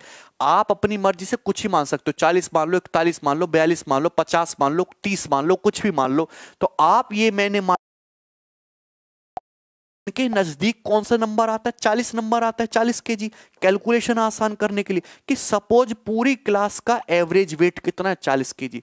पूरी क्लास का एवरेज वेट कितना है? फोर्टी के जी अगर पूरी क्लास का एवरेज वेट फोर्टी के जी मैंने मान लिया, कितना मान लिया? फोर्टी के जी आपको चेक करना है डेविएशन कितना है? अगर मैं सेक्शन ए के पास गया तो सेक्शन ए के स्टूडेंट का एवरेज वेट बयालीस है। कितना डेविएशन है? एवरेज से कितना ज़्यादा है? दो ज़्यादा है। एवरेज से कितना ज़्यादा है? दो ज़्यादा है। कितना ज़्यादा है? दो ज़्यादा है। तो दो की पाँच में गुणा करिए दो पंजे दस। दो की पाँच में गुणा करिए दस। कितना आता है? दस। कितना आता है? दस। एवरेज से चालीस कितना ज़्यादा है? एवरेज से कितना ज़्यादा है? बयालीस, दो ज़्यादा है। तो दो की पाँच में मल्टीप्लाई करिए, कितना आता है? दस। फिर सेक्शन बी के स्टूडेंट के पास के मैंने पूरी क्लास का एवरेज वेट कितना माना है? चालीस के जी ये कितना है? सैंतीस के जी तो एवरेज से कितना कम है? आप कहेंगे एवरेज से थ्री के जी कम है। कितना कम है? एवरेज से थ्री के जी एवरेज से थ्री के जी कम है हर एक स्टूडेंट का। तो छह स्टूडेंट का कितना होगा? छह की मल्टीप्लाई कर देंगे। देखो यहाँ पाँच की मल्टीप्लाई पाँच दूनी दस। तो यहाँ छह की मल्टीप्लाई करेंगे तो छह ती अट्ठारह। माइनस का अट्ठारह। अब इसके पास जाएँगे। मैंने माना पूरी क्लास का एवरेज वेट 40 है। तो ये कितना है सेक्शन सी का? सेक्शन सी का कहेंगे 45 तो एवरेज से कितना ज़्यादा है? पाँच के जी ज़्यादा है। एवरेज से कितना ज़्यादा है? पाँच ज़्यादा एवरेज से कितना ज़्यादा है? हर एक स्टूडेंट का पाँच। तो नौ स्टूडेंट है तो नौ का कितना हो जाएगा? नौ पंजे पैंतालीस। नौ का कितना हो जाएगा? नौ पंजे पैंतालीस। ये आ गया deviation this is your deviation what is this is your deviation इस डेविएशन को इक्वल इक्वल बांट दो। इस डेविएशन को इक्वल इक्वल बांट दो। सारी ऑब्जर्वेशन में ऑब्जर्वेशन है कितनी? छ पाँच, ग्यारह ग्यारह और नौ, बीस। पाँच प्लस छह, ग्यारह ग्यारह, नौ, बीस। बीस ऑब्जर्वेशन में इसको इक्वल इक्वल बांट दो। तो एवरेज तुम्हारा कितना आ जाएगा? चालीस प्लस पैतालीस और दस, पचपन। पचपन में से बीस घटाओगे पैंतीस और पैंतीस में दो जोड़ दोगे सैंतीस। पैंतालीस और दस पचपन सही है? ठीक है? और पचपन में से तुम अट्ठारह घटाओगे तो कितना आ जाएगा? तुम्हारा सैंतीस। सैंतीस बटे बीस। तो चालीस, सैंतीस बटे बीस कितना आता है तुम्हारा? दो एकम दो और ये दो one point eight five. One point eight five. तो चालीस plus one point eight five कितना? इकतालीस पॉइंट एट फाइव की जी। क्या यही आंसर नहीं था? आप मुझे बताओ कि यही आंसर नहीं था, बोलो। इकतालीस पॉइंट एट फाइव के जी यही आंसर नहीं था। बोलो। कौन बोला दिव्या? क्या यही आंसर नहीं था। तो आपको फोकस करना है इस पे डेविएशन पे, इस पे फोकस करना है, दिस इज़ डेविएशन। और इसको इक्वल इक्वल मान दो सारी ऑब्जर्वेशन ट्वेंटी में। Very good, Kartik. अठारह कैसे आया? दोबारा बताओ, अठारह कैसे आया? मैंने ये मान लिया कि पूरी क्लास का एवरेज वेट सैंतालीस है। ये सही भी हो सकता है, गलत भी हो सकता है। मैंने मान लिया कि पूरी क्लास का एवरेज वेट कितना है? फोर्टी के है। अपनी मर्ज़ी से मान लिया। अब आप चेक करिए डेविशन कितना हर एक एवरेज से एवरेज को कंपैरिजन करना है। एवरेज से क्या करना है? कंपैरिजन करना है। ये बयालीस के एवरेज से कितना ज़्यादा है? दो के ज़्यादा है। एवरेज से कितना ज़्यादा है? दो। तो दो इंटू पाँच कितना हो गया? दस। दस। मैंने माना पूरी क्लास का एवरेज चालीस है। सेक्शन बी का कितना है? सैंतीस। एवरेज से कितना कम है? तीन के कम है। कितना कम है? तीन के माइनस थ्री है ना? माइनस तीन। तो माइनस तीन की छह में क्या करेंगे? गुणा करेंगे। गुणा कर रहे हैं। माइनस तीन इंटू छह कितना है? माइनस का अठारह ये एवरेज से कितना ज़्यादा है? पाँच के है। ठीक है? पाँच के पाँच की नौ में मल्टीप्लाई करेंगे तो कितना है? पैंतालीस तो फोर्टी फाइव कितना है प्लस का फोर्टी फाइव फोर्टी फाइव और बटे, ये नेट डेविएशन है, सैंतीस बट, और इसको पूरी यूनिट छह, पाँच, ग्यारह, नौ, बीस में इक्वल इक्वल मान दो, बटे ट्वेंटी तो आ जाएगा चालीस प्लस सैंतीस बटे बीस forty point one point eight five इकतालीस पॉइंट आठ फाइव ज़ीरो मान सकते हो, लेकिन कैलकुलेशन बढ़ जाएगी। आप आप ना वही नंबर मानिए जो एवरेज के नज़दीक रहे। पैंतालीस मानते उससे भी आता। नेमी कह रहे रेशियो को लिया। रेशियो मैंने इसलिए लिया कि आप, जब मैंने बड़ा सा नेमी इसलिए देखो नेमी आप लोग ये पूछ रहे होगे कि यहाँ से मैंने नंबर ऑफ़ ऑब्जर्वेशन का रेशियो क्यों ले लिया? जब मैंने आपको बड़ा सा फॉर्मुला लिखवाया था, आपने लिखा होगा, आप देख रहे हो ऊपर और नीचे से तेरह कॉमन आ रहा है।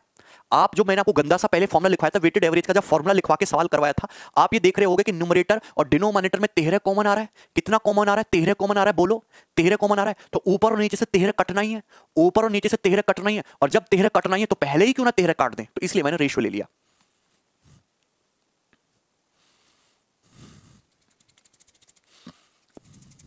क्या आपको डेविएशन का कंसेप्ट इजी समझ में आया कि नहीं आया? एलिगेशन अजय एलिगेशन वहाँ काम करेगा जहाँ आपको दो एंटिटी दे रखी हो। इसलिए मैंने तीन तीन एंटिटी पे क्वेश्चन क्रिएट करके आपको दिया कैलकुलेट करने के लिए, जिससे कि आप एलिगेशन नहीं डेविएशन से समझ पाओ चीज़ों को। अच्छा शुभम।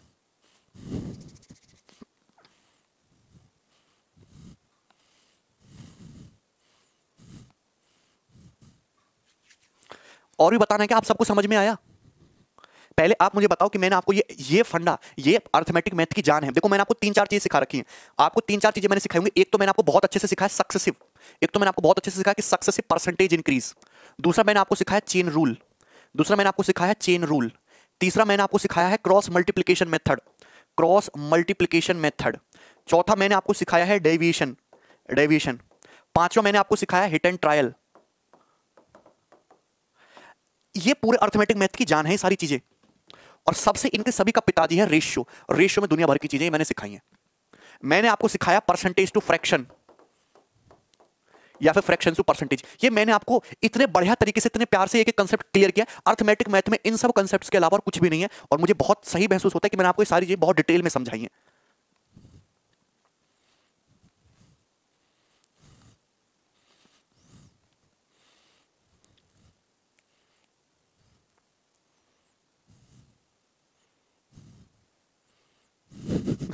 अच्छा जॉन। है ना? आगे बढ़े हम। अरे, नितेश, हो जाएगा। पहले ही बताइए। ये क्लियर है ना सभी लोगों को?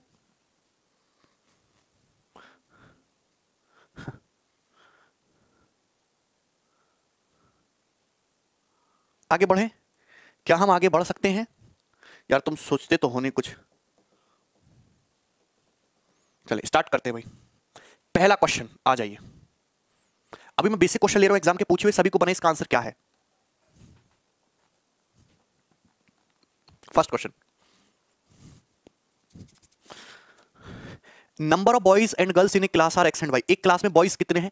एक क्लास में एक्स बॉयज़ हैं और गर्ल्स कितने? गर्ल्स हैं y average age of girls and boys okay देखिए, सुनिएगा, यहाँ ये बॉयज़ दिया है, यहाँ गर्ल्स दिया है। बॉयज़ और गर्ल्स हैं एक्स और वाई कि क्लास में बॉयज़ कितने एक्स और गर्ल्स हैं वाई ठीक है? Okay average age of girls girls की एवरेज एज कितनी है? ए और बॉयज़ की एवरेज एज कितनी है? बी तो ये एवरेज एज दी हुई है कि औसत जो उम्र है बॉयज़ की बी है और गर्ल्स की ए है। Average of all boys and girls तो ऑल बॉयज़ एंड गर्ल्स का एवरेज कितना होगा? बिल्कुल वेटेड एवरेज का सवाल है। एक्स बॉयज़ है बी उनका एवरेज है तो सारे बॉयज़ की टोटल एज बी एक्स होगी। वाई लड़कियाँ हैं और ए उनकी एवरेज है एज तो ए वाई उनकी टोटल एज का सम होगा। ये आ गया एज का टोटल सम बटे number of boys plus girls कितना है? X plus y x plus y से डिवाइड कर दीजिए। B x plus a y बटे एक्स प्लस वाई आंसर है बी ऑप्शन गलती कर दी आप लोगों ने। यहाँ पे मैंने उल्टा कर दिया है। बॉयज़ और गर्ल्स का एक्स और वाई गर्ल्स का ए दिया है बॉयज़ का बी दिया है तो b into x plus a into y but x plus y exam में भी ऐसे ही दिया था। क्वेश्चन को ढंग से पढ़िए। ढंग से पढ़ोगे नहीं, सवाल को तो कैसे काम चलेगा?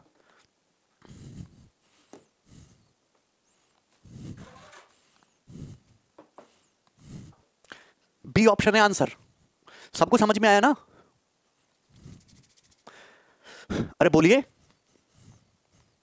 चलिए, आगे बढ़े नेक्स्ट अभी बहुत आसान आसान सवाल लेंगे। धीरे धीरे हम उनको बढ़ाते चले जाएँगे, देखिए।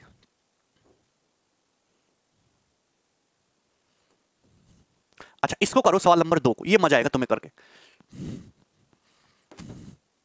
Very very important question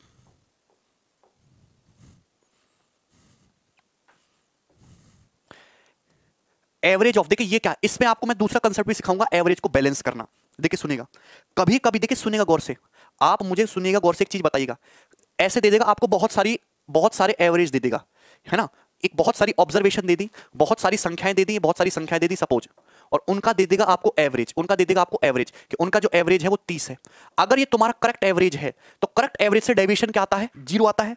आप मुझे बताओ करेक्ट एवरेज से डेविएशन क्या निकल के आना चाहिए? ज़ीरो निकल के आना चाहिए। जैसे कि मैं यहाँ पे लिखता हूँ यहाँ पे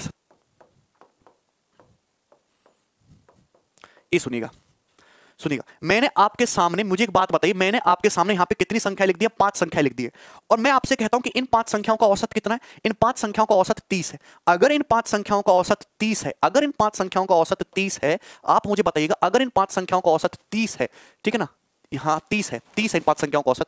तो डेविएशन देखो जरा, ये तीस से कितना ज़्यादा है? तीन ज़्यादा है। ये तीस से कितना ज़्यादा है? छह ज़्यादा है। ये तीस से कितना? ज़ीरो। ये तीस से कितना कम है? छह कम है। और ये तीस से कितना कम है? तीन कम है। तो आप ये कहेंगे कि नेट डेविएशन कितना आएगा? नेट डेविएशन ज़ीरो आएगा। तो अगर आप करेक्ट एवरेज से कंपेरिजन करोगे तो करेक्ट एवरेज से कंपेरिजन करने पर नेट डेविएशन कितना आता है? ज़ीरो आता है, क्योंकि वो करेक्ट एवरेज है।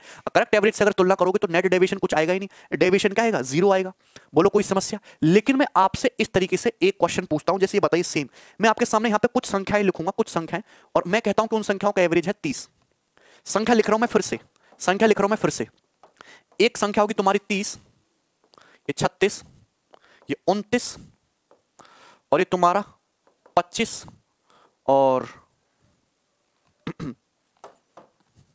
और ये तुम्हारा तैतीस। और ये लिख दिया मैंने यहाँ पे एक्स तो बताओ एक्स की वैल्यू क्या है? सवाल पूछ लिया मैंने आपसे। आपके सामने छह संख्या लिखी हुई है। एक, दो, तीन, चार, पाँच, छह। छह संख्या लिखी हुई है। इन छह संख्याओं का औसत कितना बताया मैंने आपसे? छह संख्याओं का औसत कितना बताया मैंने आपसे? तीस। तो बताओ एक्स का मान क्या है? What is the value of x बनाइए। बनाइए। नहीं समझ में आ रहा तो छोड़ दो भाई तुम। ठीक है? आगे बढ़ाओ। ऐसे तो एवरेज ही तुम्हारा बीस दिन तक चलता रहेगा। थोड़ी बुद्धि तो बढ़ाओ। क्या आएगा भाई? एक्स की वैल्यू क्या आएगी? बोलते क्यों नहीं हो? ऐसे मत करना। एक तो फंडा ये होता है, इनको जोड़ो, छह से डिवाइड करो एवरेज तीस के बराबर रखो, वो नहीं करना डेविएशन देखो। अगर इन छह संख्याओं का एवरेज तीस है, तीस से कंपेयर करो, कितना है ज़ीरो तीस से कितना ज़्यादा है? छह ज़्यादा तीस से कितना कम है? उनतीस, एक कम है। तीस से कितना कम है? पच्चीस, पाँच कम है। तीस से कितना ज़्यादा है? ये तीन ज़्यादा है। कितना ज़्यादा है? थ्री ज़्यादा है। आप मुझे बताइए कि अगर इन संख्याओं का एवरेज तीस है तो नेट डेविएशन शुड भी ज़ीरो अगर इन संख्याओं का एवरेज तीस है तो तीस से मैंने कंपेयर किया। तीस से कंपेयर करने पर नेट डेविएशन ज़ीरो आना चाहिए। आप देखेंगे छह और एक पाँच, छह कट गया। ये कितना है? प्लस का तीन। डेविएशन आ रहा है प्लस का तीन, जबकि डेविएशन आना चाहिए ज़ीरो मतलब एक्स की वैल्यू क्या होनी चाहिए? एवरेज से थ्री लेस होनी चाहिए। एक्स की जो वैल्यू होनी चाहिए, वो एवरेज से तीन कम होनी चाहिए, जिससे कि तुम्हारा प्लस का तीन और माइनस का तीन कैंसिल आउट हो जाए और नेट डेविएशन कितना आए नेट डेविएशन आए ज़ीरो तो net deviation should be zero तो यानी कि एक्स की जो वैल्यू है, वो तीस से तीन कम होनी चाहिए तो एक्स की वैल्यू कितनी होनी चाहिए? सत्ताईस. तो आगे ना कितनी आसानी से एक्स की वैल्यू आ गई ट्वेंटी सेवन एक्स की वैल्यू कितनी आ गई? ट्वेंटी सेवन बताओ. अब बात समझ में आई? हाँ प्री प्लस मीन्स के सब कराएँगे प्रीवियस के टेंशन ना लो आप. ट्वेंटी सेवन बोलो क्लियर है बात यहाँ तक? ये भूल मत जाना, सब रिवाइज करते रहना साथ के साथ. क्योंकि इन पे बेस्ड सवाल अभी काफ़ी लेट बाद आएँगे. लेकिन बेसिक कंसेप्ट यही है। सबको समझ में आ गया ना? आगे बढ़ो। अब जैसे ये देखिए सवाल। आपके सामने संख्या दी है तेईस, पंद्रह, उन्नीस एक्स बारह और सात। इनका एवरेज कितना दिया? इनका एवरेज दिया है सोलह। अगर इनका एवरेज सोलह दिया है तो आप मुझे बताओ एक्स की वैल्यू क्या होगी? एवरेज से कंपेयर करो। कितना ज़्यादा एवरेज से? सात ज़्यादा ये एवरेज से कितना कम है? इनका एवरेज सोलह दिया है इन छह संख्याओं का। ये एवरेज से कितना कम है? एक कम है। ये एवरेज से कितना ज़्यादा थ्री ज़्यादा है। ये एवरेज से कितना कम है? चार कम है। ये एवरेज से कितना कम है? नौ कम है। एवरेज से कितना कम है? नाइन लेस है। नाइन लेस है।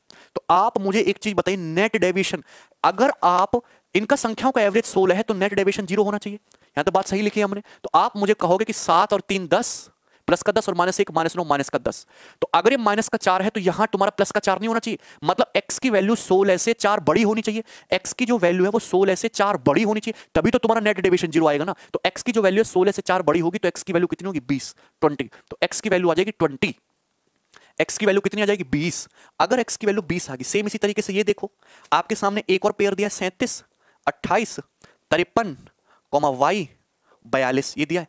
इनका औसत है 41 तो ये पाँच संख्याएँ दी हैं, इनका जो औसत है, वो दिया 41 तो y निकालो यहाँ से।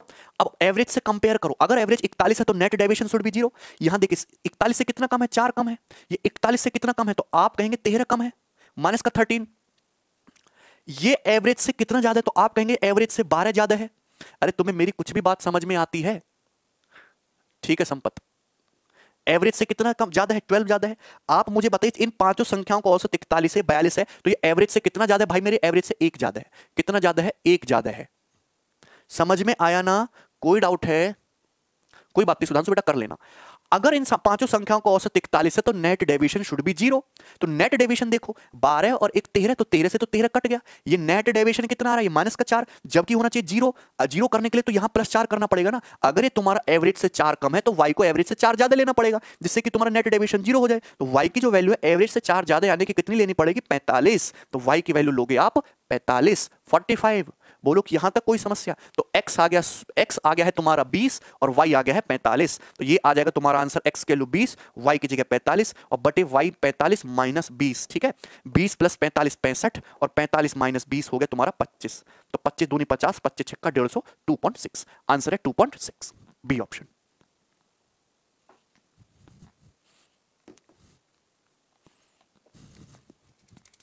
ये वाला सवाल अभी किसी एग्ज़ाम में नहीं पूछा गया है। ये केवल मैंने आपके इस कंसेप्चुअल क्लैरिटी के लिए मैंने आपको क्रिएट करके सवाल दिया और ऐसे सवाल एग्जामिनर भी दे सकता है।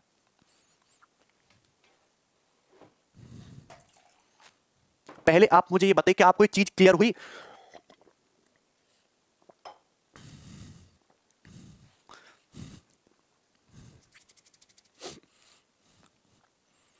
हाँ राज, कर सकते हैं।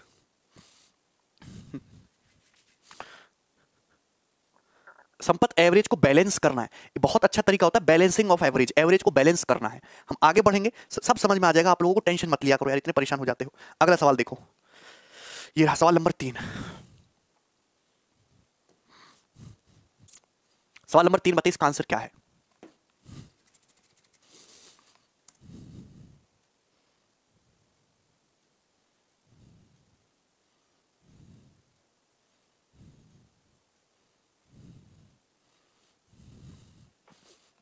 संपत तुम्हें बताया तो था यार। अगर ये तुम्हारा, देखिए, ये था यहाँ पे, ये। अगर ये तुम्हारा माइनस फोर है नेट डेविएशन ज़ीरो होना चाहिए। ये तेरह तेरह तो कट गई माइनस का चार है तो इधर क्या होगा? प्लस का चार। माइनस चार प्लस चार ज़ीरो होता है। मतलब ये जो संख्या वाई होगी प्लस चार एवरेज से प्लस चार होगी तो इकतालीस में प्लस चार करोगे, पैंतालीस। ठीक है? पहले सौ धनात्मक पूर्णांक संख्याओं का औसत क्या है? Average of first hundred positive integer बताइए फ़र्स्ट हंड्रेड पॉजिटिव इंटीजर का जो एवरेज होगा वो हो जाएगा ये पचास पॉइंट पाँच आंसर। अब भी गलत कर रहे हो, सुनते काहे नहीं हो? है?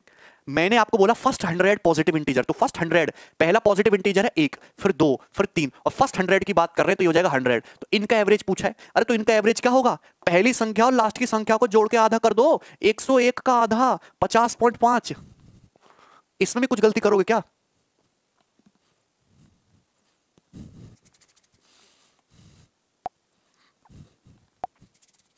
हाँ तो किसी को कोई समस्या? आगे बढ़ जाए नेक्स्ट भाई ये रहा आपके सामने सवाल नंबर चार, बनाइए।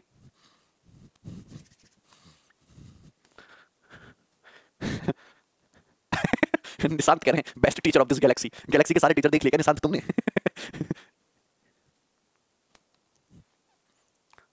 इंटीजर तो ज़ीरो है, लेकिन पॉजिटिव बोला है ना अभिषेक आपसे बोला है पॉजिटिव इंटीजर तो ज़ीरो पॉजिटिव नहीं होता। ज़ीरो पॉजिटिव नहीं होता। पॉजिटिव कहाँ से होता एक से एक, दो, तीन। इसलिए हम एक से स्टार्ट करेंगे। सुजीत, इसके बाद एवरेज खत्म हो जाने के बाद तुरंत स्टार्ट पॉजिटिव इंटीजर लेना अभिषेक। इंटीजर नहीं लेना है। पॉजिटिव ऐसे तो इंटीजर माइनस तीन भी है। माइनस चार इंटीजर नहीं है क्या? वो भी इंटीजर नेगेटिव लेकिन लेना क्या? Positive zero is neither negative neither positive average of square of natural number from one to seventy one okay एक से लेकर इकहत्तर तक की संख्याओं के स्क्वायर का एवरेज पूछा है। तो आप मुझे बताइए, एक से लेकर इकहत्तर तक की संख्या के स्क्वायर का सम क्या होगा? One square plus two square plus three square plus dot dot dot seventy one square ये क्या होगा? ये एक से लेकर इकहत्तर तक की संख्याओं के स्क्वायर का सम कैसा आएगा? इकहत्तर n into n plus one बहत्तर into two n plus one इकहत्तर दूनी दो कम दो दो सत्ते चौदह, एक सौ बयालीस, एक सौ बयालीस, एक सौ तैतालीस, एक सौ तैतालीस और बटे छह। ये सम आ गया। अगर आपसे पूछा होता एक से लेकर इकहत्तर तक की संख्याओं के वर्गों का योग तो ये आंसर हो जाता। आप मुझे बताओ कि यही आंसर हो जाता। लेकिन आपसे क्या पूछ लिया? एवरेज पूछ लिया। सम नहीं पूछा एवरेज तो ये इकहत्तर संख्याएँ हैं। इकहत्तर संख्याओं का सम ये है तो एवरेज निकालने के लिए इकहत्तर से डिवाइड करोगे ना? This will be cancel out this will be twelve and this will be twelve बारह छत्तीस। छह आएगा। छह आएगा। ठीक है ना? मेरे पास दो ऑप्शन है, सोलह सौ सोलह और सत्रह सौ सोलह। तो आंसर जो है सत्रह सौ सोलह सोलह सौ सोलह तो एक सौ एक दिखता है। एक सौ एक है ही नहीं कहीं पे, ये ऑप्शन नहीं है।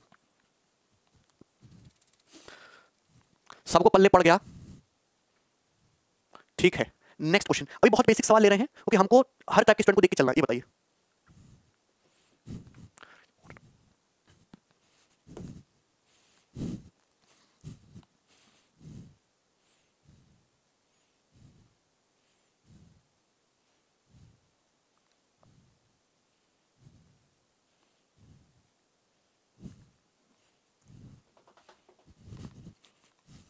सौ तक की the average of odd numbers up to hundred देखिए, सभी ऑर्ड नंबर्स का एवरेज बताना है, सौ तक की। तो आप मुझे बताओ, सबसे पहला ऑर्डर नंबर हम लेंगे नेचुरल नंबर में बात करेंगे, एक। एक के बाद तीन तीन के बाद फाइव फाइव के बाद सेवन तो ये कितना? निन्यानवे। भैया, एक से लेकर सौ तक यही होते हैं।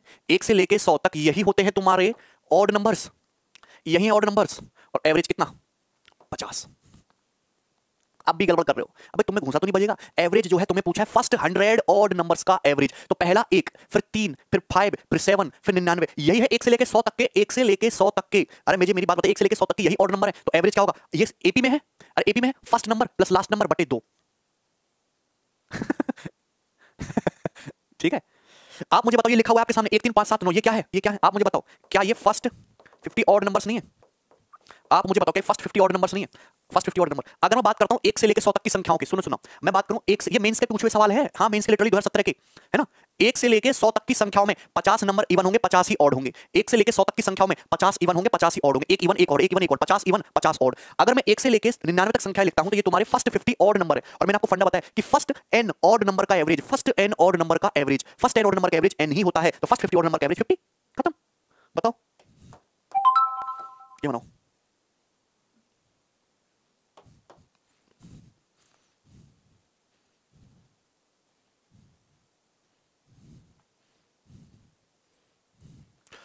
दिख रहा है ना क्वेश्चन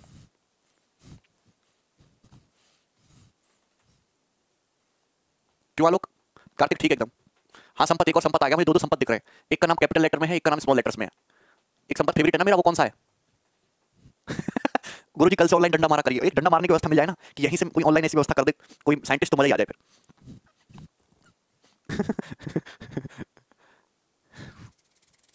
देखो, हम आपको बताते हैं।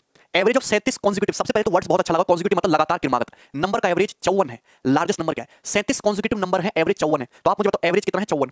एवरेज है चौवन तो अगर नंबर कॉन्जिक्यूटिव है क्रमागत है। तो एवरेज एकदम मिडिल में होगा। चौवन will be the middle number आप मुझे बताओ, चौवन will be the middle number चौवन एवरेज सैंतीस कॉन्जिक्यूटिव नंबर सैंतीस कॉन्जिक्यूटिव नंबर उनका एवरेज चौवन है तो चौवन मिडिल होगा। अगर चौवन मिडिल में होगा टोटल संख्या कितनी है सैंतीस? अगर टोटल सैंतीस संख्या तो चौवन से पहले अठारह संख्या होंगी और चौवन के बाद अठारह संख्या होंगी। अरे अठारह संख्या, चौवन के बाद अठारह संख्या, चौवन से पहले अठारह अठारह छत्तीस संख्याएँ प्लस एक टोटल सैंतीस संख्या होगी कि नहीं होगी? आप मुझे बताओ कि ये मिडिल में है एकदम। अठारह संख्या, चौवन से पहले अठारह संख्या, चौवन के बाद। टोटल छत्तीस संख्या प्लस एक सैंतीस होगी। सभी को समझ में आया? तो यानी कि जो लार्जेस्ट नंबर होगा, सबसे बड़ा नंबर वो चौवन से अठारह बड़ा, यानी कि बहत्तर होगा सेवेंटी और जो स्मॉलेस्ट होगा, वो चौवन से अठारह छोटा यानी कि छत्तीस होगा।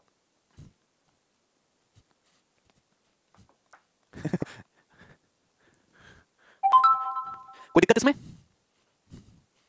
हाँ संपत। सबको समझ में आ गया? आगे बढ़ो भाई नेक्स्ट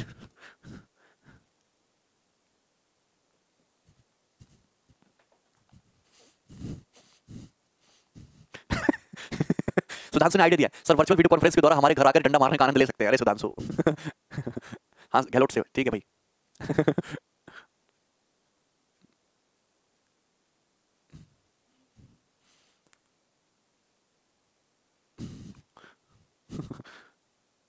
भूख लग गया, अभी से। अविनाश करा तो दिया है। नौ लगातार पॉजिटिव इंटीजर है नाइन पॉजिटिव पॉजिटिव इंटीजर उनका एवरेज है 63 तो लार्जेस्ट और स्मॉलेस्ट इंटीजर का प्रोडक्ट बताना है। सो कह रहे हैं, फिर तो गोपाल वर्मा सर जान से मार देंगे, बच्चों को उस डंडे से। क्यों गोपाल वर्मा सर क्यों मार देंगे? प्रदीप खाना बनाना है। अच्छा ऐसे कितने लौंडे जो खुद खाना बनाते हैं? बी या सी?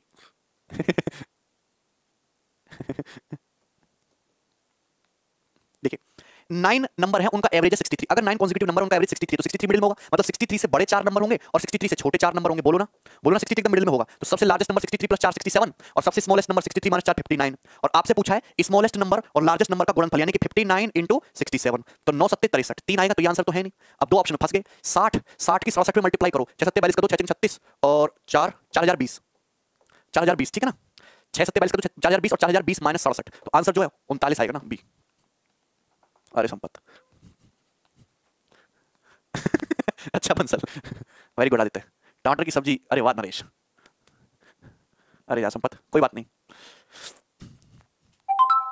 अच्छा सिलेक्शन के बाद कौन कौन मिलने आएगा मुझे सही बताओ वेरी गुड खुशी। ये हुई ना बात? इस तरीके से भी हो जाता है ना। सीट में डलवा दूँगा, आज के लिए इतना ही रहने देते हैं, बाकी के जो क्वेश्चन को कल करेंगे। अरे सचिन, ऐसे बात मत करो। अच्छा संपत। बजरंग हम बनाते हैं। वेरी गुड भाई।